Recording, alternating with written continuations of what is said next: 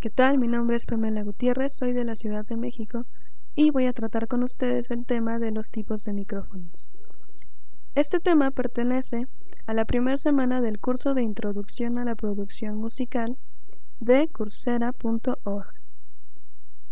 El primer tipo de micrófono que veremos es el micrófono dinámico. Este es muy práctico y efectivo para usarse en el escenario, ya que por su diseño no permite que entre sonido más allá de su área de captación. Su área de captación la encontramos en esta parte, que es la que sostiene la cantante junto a su boca para que se escuche el sonido, y la otra parte provoca un rechazo de los demás sonidos, como aquí por ejemplo, sería del amplificador y el ruido del público.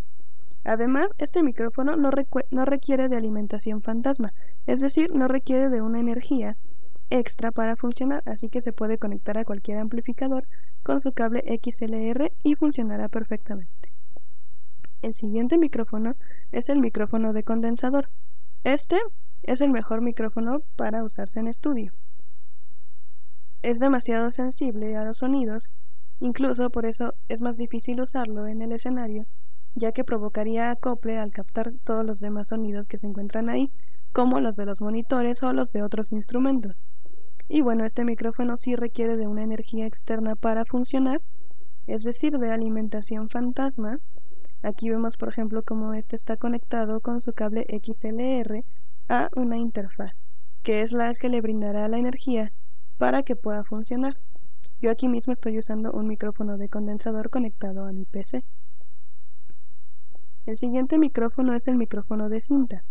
Este consiste en un trozo de cinta de aluminio corrugado que se mueve entre dos imanes entre los que está suspendido. Estos imanes pues provocan una sensación magnética que hace que ese aluminio se mueva y se creen impulsos eléctricos que son la reproducción del sonido. Fueron muy usados como micrófonos de estudio, pero cayeron en decadencia cuando aparecieron los micrófonos de condensador, ya que se descubrió que estos, a partir de los 14.000 Hz, producían una atenuación importante en la frecuencia.